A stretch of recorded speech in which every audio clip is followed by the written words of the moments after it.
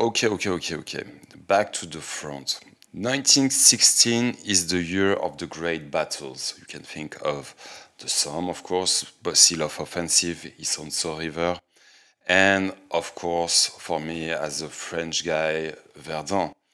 All these battles will be unprecedented in terms of size, of number of deaths, of equipment, of duration. Only Verdun is like 300 days. All these battles are also interconnected, and the result of one battle directly influences the other. And all of this will be indecisive.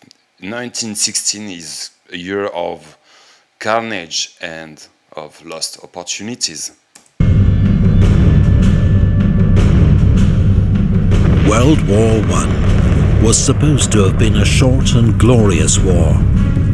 But by 1916, a new kind of industrialized warfare had seen the death toll soar into the millions, with no end in sight. And at that point, yes, it was clear to everyone that this business was going to last a long time. And by 1915, all the societies had restructured in order to cope to this new situation. Industrialists reorganized to create large consortiums and have the means to supply the front. In 1915, all armies had to be re-equipped. Uh, new weapons had to be reintroduced in order to match the needs of the trench warfare. Grenades, trench mortars, flamethrowers, rifles adapt to trench conditions, combat gases, etc. Motorization had to be increased in order to supply the front. Aviation was strengthened to improve the reconnaissance artillery was transformed and you had to produce astronomical quantities of shells and ammunition. Naval blockades were beginning to cause shortages of food and fuel across Europe. While thousands of women had entered the workforce, replacing the men sent to fight in their millions. And now you have also societies without men, where those who remain and are able to go to the front are cowards. For example, in England, if you were old enough to join the fight and you were not at the front, then you were awarded the Order of the White Feather Uh, to show your cowardice. All sides were preparing for a long war.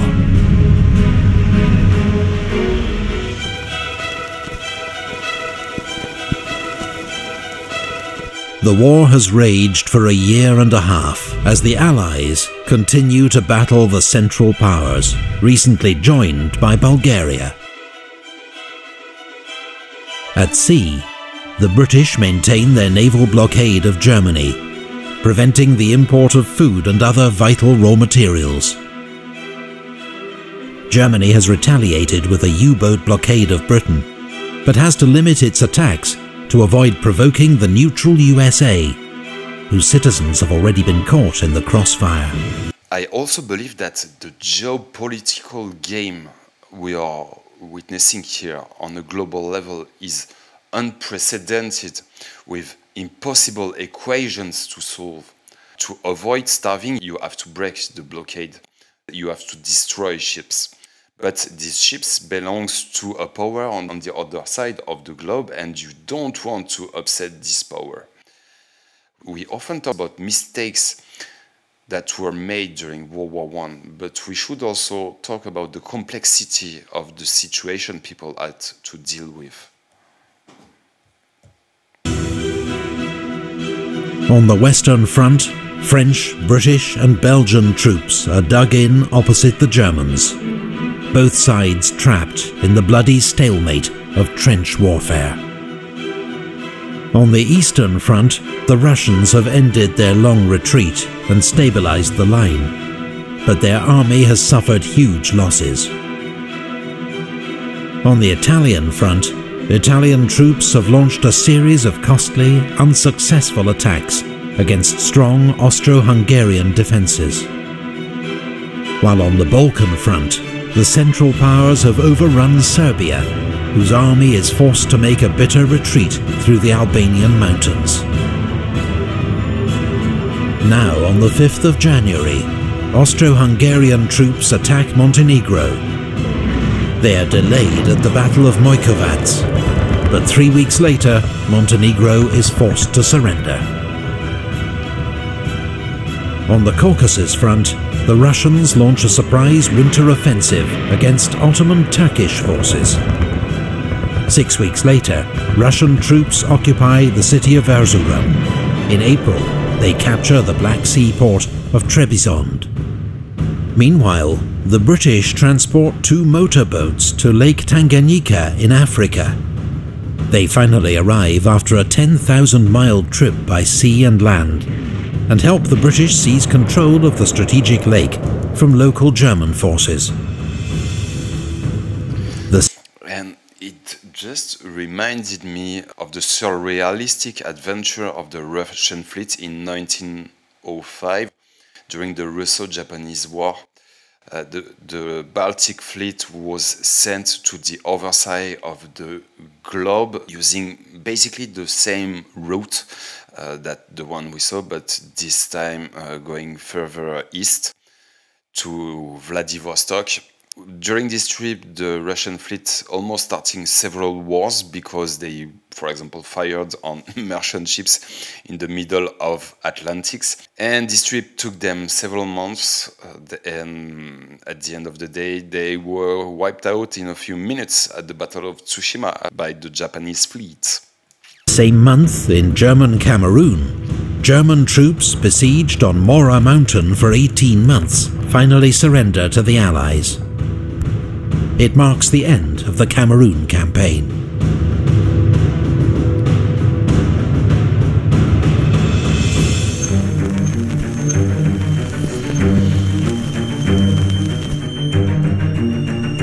On the Western Front, the Germans unleash a devastating assault on the French fortress town of Verdun.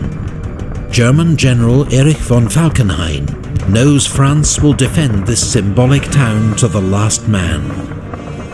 His plan, in his own words, is to bleed France white in its defense. Bleeding France white. 1915 was the bloodiest year of the war for the French army as they had to hold the Western Front while the British Army was building itself. There were also some very deadly offensives, notably in Champagne. And the German army sees here an opportunity to knock out the French army. While Verdun, Verdun is a salient in the front line, which means it's kind of a bulge that sticks out of the front and can be attacked from all sides. It's an important logistical hub, and if it falls, it is going to destabilize the whole front. It's also a symbolic city, and it would be a disaster in terms of public image if it's captured. During the first two days of the offensive, two million German shells will fall on the French lines. One heavy shells every three seconds and one heavy shells per meter square. It is the strategy of attrition. Verdun becomes one of the most terrifying battles of the war. A mincing machine, where infantry divisions are destroyed almost as fast as they can be fed into the line. In Britain, one million men have already volunteered for military service. But the government realises it won't be enough. Britain becomes the last major power to introduce conscription the organization will be very special with the PAL battalions, where they will group young people from the same village or the same neighborhood together to increase morale and cohesion within the units. And it's going to be terrible precisely for the same reason because each dead comrade is maybe your brother or a childhood friend and it's going to be devastating on the moral of these young soldiers. That spring on the Western Front, British troops are the last to be issued with steel helmets. The nature of trench warfare produces a high proportion of head wounds. The German Stahlhelm, the French Adrian helmet, and the British Mark I steel helmet offer limited protection from shell splinters and shrapnel. And so, with the trenches, it's your head that sticks out, and she's the one who will take the damage first. These helmets will be designed to resist shock, shrapnels, and shell blasts. On the other hand, it will never stop a bullet. Uh, we have to forget the scene, you know, in the Private Ryan, where one guy takes a bullet on the helmet, which ricochets, and then he removes it like, wow, what just happened? And he takes a second bullet. No, it cannot happen. Neutral Portugal has been cooperating with the British, which seems to offer the best chance of holding on to her African colony, Portuguese Angola. On the 9th of March, Germany retaliates by declaring war on Portugal. On the Eastern Front, Russia launches an attack near Lake Naroch to relieve pressure on the French at Verdun, but it's a disaster. There are 100,000 Russian casualties, and the attack fails to divert any German troops from the fighting at Verdun. In Dublin, Irish Republicans launch an armed revolt against British rule. It becomes known as the Easter Rising and is put down after six days of street fighting.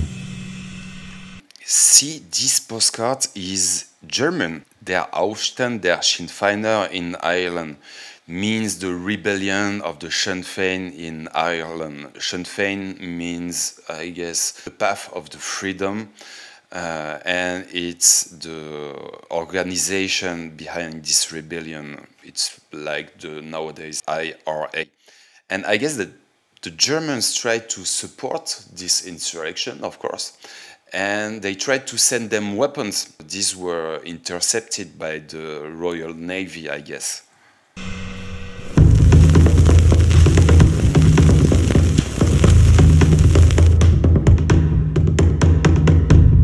In the Middle East, after a five-month siege, British forces at Kut surrender.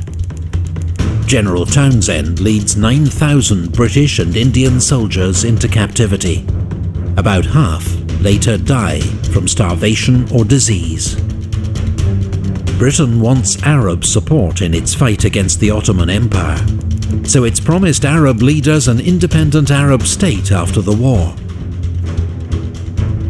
But now, Britain and France secretly sign the Sykes-Picot Agreement, planning after the war to divide the Middle East into British and French zones of control. Um, these agreements will rightly be experienced as a betrayal, and by creating these artificial borders, these agreements will also create destabilization whose effects are, are still very much perceptible today.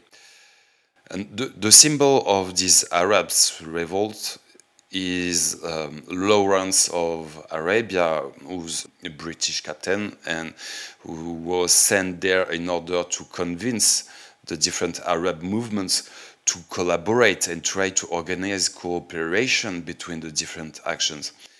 He will take part of an incredible guerrilla war against the Ottoman Empire, notably harassing the railway lines on camels or on horseback.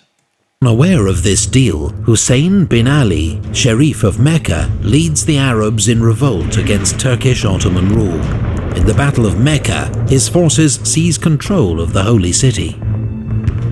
On the Italian front, Austro-Hungarian forces launch a surprise attack at Asiago.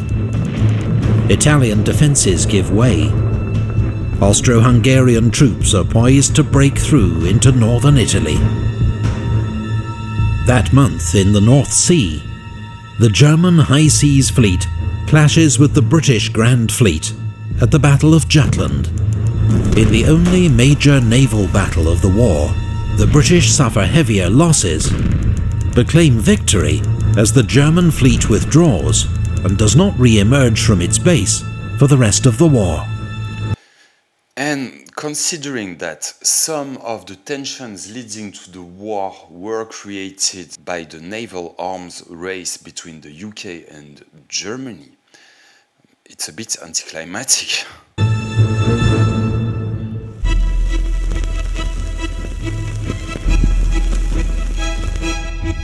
For the summer of 1916, the Allies have planned major simultaneous offensives against the Central Powers, from east and west. Now they are needed more than ever to relieve pressure on the French at Verdun and the Italians at Asiago. The Russians launched their attack first. On the Eastern Front, General Alexei Brusilov has carefully maintained the element of surprise. His troops break through the enemy lines, in some places advancing 60 miles and taking 200,000 prisoners. Why does it work? We can mention a couple stuff. First, excellent preparation of the offensive. Second, very good training of the troops. Creation of specialized units and a very good artillery infantry cooperation and these are based on the acquired knowledges of the first two years of the war. In addition of these, we can mention that in order to sustain the Battle of Asiago, Austria-Hungary thought that it would be a good idea to take some very experienced troops from the Eastern Front and to send them to Italy. We can say that the overall effect of the Brusilov offensive is that it's kind of the death of the Austria-Hungarian army. And why does it stop? Due to the lack of resources and especially logistic problems. This brilliant, though costly Russian attack achieves its aim, as the Central Powers are forced to redeploy troops from other fronts to shore up the line. At sea, British cruiser HMS Hampshire en route to Russia, hits a mine and sinks off Orkney. Among the 650 dead is Britain's iconic Secretary of State for War, Lord Kitchener.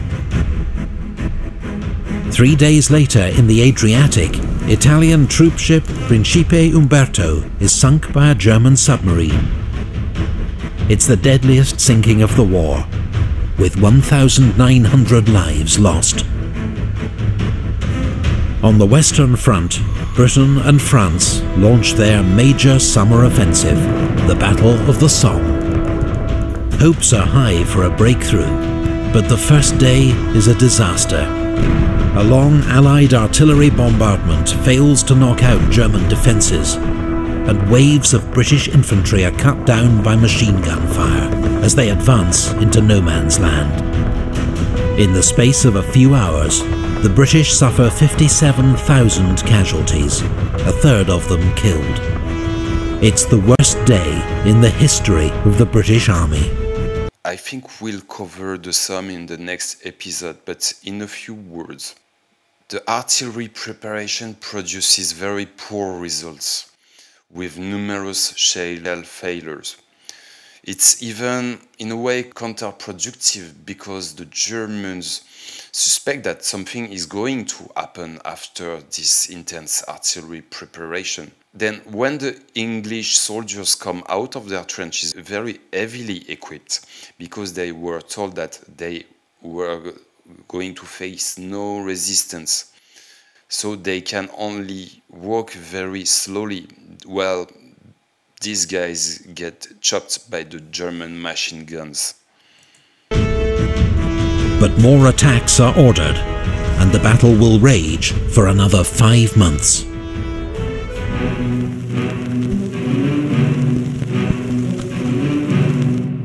Encouraged by the Russian advance, Romania joins the Allies. But despite an initially successful advance into Transylvania, Romania quickly faces a counter-offensive from German, Bulgarian and Austro-Hungarian forces. The Allied force at Salonika tries to support Romania by launching their own offensive towards Monastir. With Serbian troops in the lead, there are small gains, but dogged Bulgarian resistance prevents a breakthrough. On the Western Front, General von Falkenhayn finally calls off the attack at Verdun.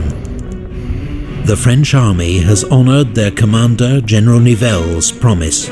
Ils ne passeront pas. They shall not pass. But victory comes at a terrible price 365,000 casualties. The Germans lose almost as many. Verdun remains one of the bloodiest battles in human history. My girlfriend comes from Verdun. When I go there, I notice two things. The first one is that there are cemeteries everywhere. Really, I mean everywhere, and huge one. The second thing I noticed is that the nature has been completely altered and distorted by artillery, with shell craters everywhere around the city. When you arrive from Paris by train, the station is not in Verdun you have to drive 30 minutes by car to reach the city. And the road that leads to the city is called the Sacred Path. It was the lifeline of Verdun. If you look at photos on Google, you will see immense lines of trucks which supply the front, allowing the rotation of troops, the evacuation of the wounded, etc. It's a victory that was made possible by logistics and by the courage of the defenders on certain parts of the front. Men were some, sometimes cut off from their units and locked up, for example, in the forts of Douaumont and the fort of the Vaux. And to, to survive, they had to drink their own urine. Also, on the picture of this battle, you always see French soldiers with cigarettes or pipes. It's not that they were particularly heavy smokers, it's to disguise the smell of the blood and of the corpses. It is said that could smell the rot of the dead people 15 kilometers away from Verdun. For his defeat at Verdun, Falkenhayn is sacked and Germany's heroes of the Eastern Front, von Hindenburg and Ludendorff, take command in the west. Meanwhile, the Battle of the Somme continues. Near the village of Flers, the British introduce a new weapon they hope can break the deadlock of the trenches. It is called the tank. But despite some small successes, the first tanks are too few in number and too prone to mechanical failure to make any real impact and they are very slow too. And overall, we still don't know how to use this new weapon. A weapon, in order to be effective, needs to be part of a system. How do you make them work with artillery, with infantry, with cavalry? And what is it in the first place? Is it mobile artillery? Is it infantry? Is it cavalry? So we Allied will have to learn from these mistakes and these failures, but they will do so, and that will be a great part of the victory. The Eastern Front, Russia's Brusilov offensive comes to an end. Casualty estimates vary wildly, but it's clear both sides have suffered catastrophic losses. Neither the Russian nor the Austro-Hungarian army ever fully recovers. On the Italian front, heavy fighting rages throughout the autumn, as Italian forces make repeated, costly assaults against Austro-Hungarian positions along the Isonzo River. So we are in the ninth battle of the Isonzo River. So Italian Chief of Staff Cadorna will butcher his own army. He attributes these defeats, or at least the fact that Italian cannot manage to break through. Uh, he puts all of this on moral failure and not the lack of preparation or material or even an incompetent leadership. So he reintroduces punishments such as the decimation. It's a punishment dated from the Roman legend from antiquity. And so you take a unit that has failed and you shoot one of every 10 men to give an example. moron. The Battle of the Somme comes to an end amid autumn rain and mud. The Allies have advanced 10 miles at the cost of 600,000 casualties.